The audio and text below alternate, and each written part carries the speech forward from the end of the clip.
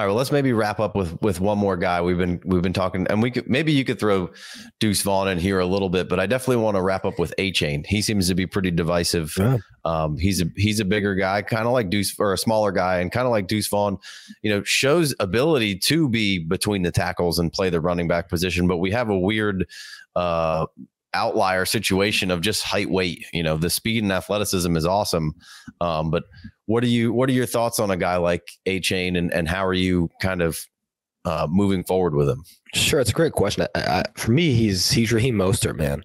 Um, high end track pedigree. I mean, he's a, a, sub 10, 200 meter runner. Um, this is a guy that's going to walk into the NFL and, and defense is going to need to know where he is at all times, right? Those guys are super important, right? You want to have to game plan for as many players as you possibly can if you're the offense. You want the defense to game plan for those, I should say. He brings that to the table, right? And as an interior rusher, similar to Raheem Mostert, smart, good instincts, good power, more so the want to. That's it's we think okay, power, power, power. It's no, I, I want to run through a guy's face mask.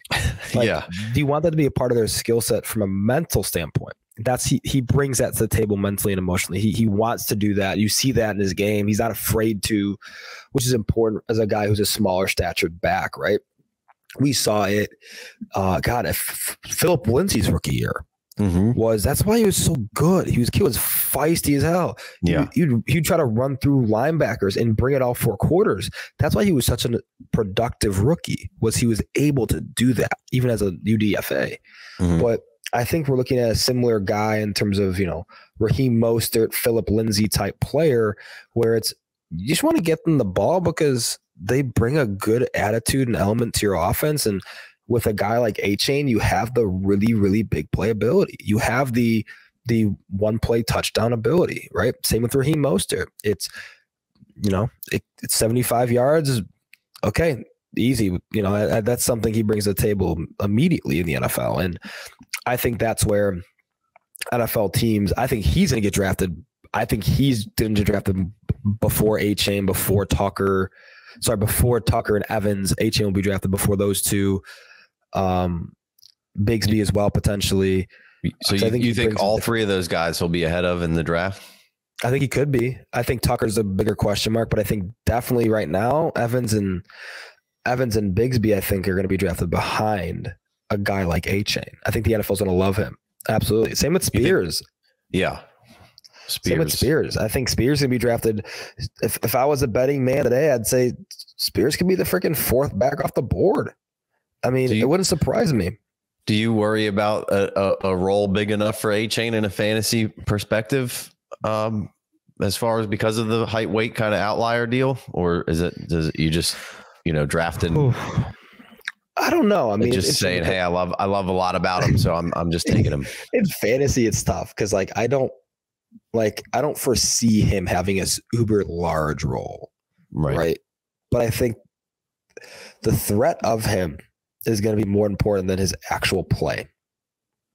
Does that make sense? Yes, 100%. Like it, it's kind of like how I felt about um, who was it like the Henry Ruggs and Jameson Williams coming out. Very similar sentiments the threat of this player is probably more important than the player themselves, mm-hmm. which is fine.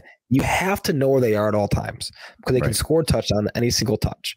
If they're on the field, they have a level of importance that supersedes their actual ability. That's important. Yeah. Some of those guys have that, some of those guys don't. Evans, Bigsby, no, more plug and play guys, right? These are, you know, they don't offer, in my opinion, a high enough end skill set for defensive corners to be like, oh shit, this guy's on the field right now. Right. Right. We have to do this, and this try to stop him. Um, but that's what Achane brings to the table. So I think that's a super, super important trait.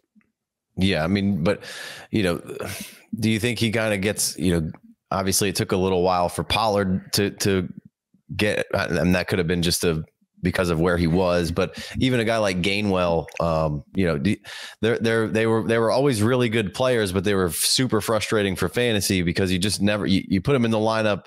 You know, because he had a good game the week before and he wasn't in, and then he does nothing, and then you take him out of the lineup, and then he's he's back in, you know, making big plays and taking seventy yard uh, touchdown plays. So is it you know, obviously those guys are built a little sure, different than sure. Achane, but it, I, as far as roles that could be kind of define for him, it seems like he would have to almost really, really break break the mold to to have for sure know, to be Darren Sproles. Um, yeah, you know. no, I I think he, you know guys like him and Vaughn are, are kind of big outliers, right? Mm-hmm. But the they're talented kids, so I mean, you're betting on them, really, in a sense, proving that talent and continuing to kind of climb their way up depth charts.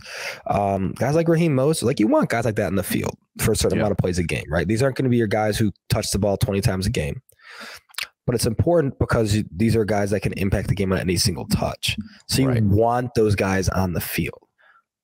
But do you want them in the field in terms of volume or do you want them in the field, you know, from an efficiency standpoint? Probably from an efficiency standpoint. Um, but yeah, it's interesting because a guy like Tony Pollard, you mentioned him, he was a, primarily a receiver coming out of college. Right. right? right. So there, there's definitely a learning curve in him being a more, you know, natural running back. Yeah, Achane doesn't shouldn't need that uh, leash to to to relearn a position. Gainwell kind of similarly. It, again, I think it just comes down to fit of where they go and, and how how they get schemed for both Deuce Vaughn and probably Achane, You know, Spears maybe a little bigger and maybe a little less um, worrisome about the height weight sure. kind of deal. Um, so, you know, it's always it, th- those guys are probably for me going to be pushed down into that that mid second second round just because of you know not because I don't like them just because of I'm I'm scared of the of the role that they will be consistently received in the NFL regardless of draft capital really right I think um, yeah, I agree. I think you know we talk about Spears versus some of those guys. I think Spears is probably the at this point the safer bet. Spear goes day. Spears goes day two. You move him above du- Vaughn and Achane, and he's or is he already there for you? Um, in terms of like in terms of film, yeah, I think right now he's my RB four, RB three on mm-hmm. RB four on film.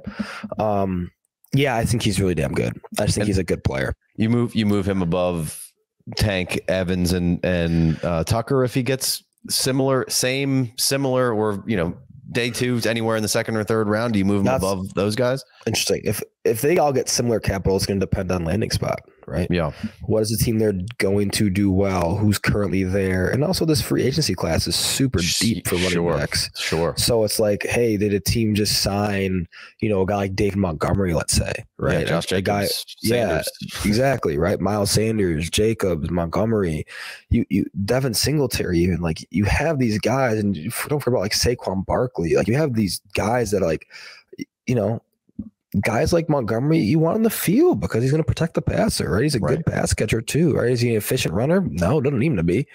So that's kind of the interesting part of this is there's this giant good free agency class coming in with a very good crop of new running back talent. Hmm. So it might be, you know, Capitals capital is gonna be really important, but fit is this is the most important in terms of schematic fit and who's on the roster right now. Because yeah. I I don't care if you know if let's say let's say a guy like Bigsby or Evan are drafted in the second round to a team that has, you know, let's say let's say Pacheco, David Montgomery for some reason, and then Zach Evans or something, mm-hmm. and Clyde Edwards-Helaire. Like right. you know what I'm saying? Like that's tough. Like it's yeah. Like, how are you going to do that? You know, how, how are you going to justify taking that guy in, you know, the first two, three years of his, you know, and being in the league? Like, how many touches he going to get? Because right. the room is so crowded. So if you're splitting touches between three good players, that's tough to justify. Right. I mean, um, the Eagles have been that way all season. It's hard to, it's yeah. hard to say, you know, Miles was good for a stretch and Gainwell's good and, and Boston Scott's been good. So, you know, it's, it's, again going yeah. into the the fit of and how they use yeah, their their running oh, backs and the rotations and definitely definitely. This is probably the most interesting year in my opinion um, in terms of looking at the running back landscape it's gonna, it's gonna change a lot after the draft. It's you know after Bijan and Jahmyr it's like oh, where these guys go really matters. yeah. Yeah yeah they all they all seem to have um, some similar and some very different skill sets and some are you know they kind of all have after all, after those two guys, and maybe some people will throw Gibbs in there. There's just a yeah, but with just about all of them. Yeah, yeah, and they're all good, which is funny. Like they're right. all good in different ways, but they all right. have really, really different red flags and questions you have on them. So it's a fun class to evaluate because you know there's certain I don't know, certain NFL teams might be enamored with some guys. It seems like Charbonnet's got to be the seems like the safest out of the other after you get out. Oh, for sure. Bijan, for sure. I th- like just I, I, think realistically from a size three down skill potential. Set, yeah, man. It's it's he's basically hopefully Joe Joe Mixon without the off the field stuff. In my yeah. opinion, that's kind of what he is. Yeah. Right. Not overly dynamic, but can really help a team as a runner, as a receiver. And also I think he's better in pass protection than Mixon is. That's one of the, the downsides of Joe Mixon is doesn't doesn't have the feel for space as a pass protector, right? That's why they bring in Samaje Perine. Um, but yeah, I think Charbonnet is very much like a guy like Joe Mixon. Um, will be on the field for probably three downs, in my opinion. Yeah. Yeah. All right, cool, man. Well, I'm gonna let you get out of here so we can watch the Senior Bowl. Um, appreciate you hopping on. Appreciate you talking. We'll hopefully have you again back on maybe after we get a landing spots and and yeah. all that kind of stuff, and and be able to talk about how you view those fits for sure. Um, to kind of follow up this this uh, little interview kind of uh, chat we had here. Yeah, for sure, man. Thank you again for having me on. I, you know, this has become an annual event for us, so um, yeah. super stoked to continue this. But um, but yeah, um, anytime you want me on back and um, back after the NFL draft, you let me know. Yeah, well, well, tell give give everybody a, uh, a, a Twitter and a and a YouTube and a and a website plug one more time for you. Yeah, absolutely, man. Um, you can find me on Twitter um, at Angelo underscore Fantasy. Um, website angeloanalysis.com. Um, pretty simple to find all my work on there. And then on YouTube, you can just type in Angelo, um, Angelo underscore fantasy. I think it's on YouTube. Yeah. And then got, got a couple YouTube series I did last year, um, testing those out. So hopefully we'll be dropping some more content on, on YouTube, um, probably closer to NFL draft or after. Yeah. All right, man. Again, much appreciated. Always a great insight and uh, looking forward to many more. So anytime, man. All right. Take care. Have a good one. All right. Peace.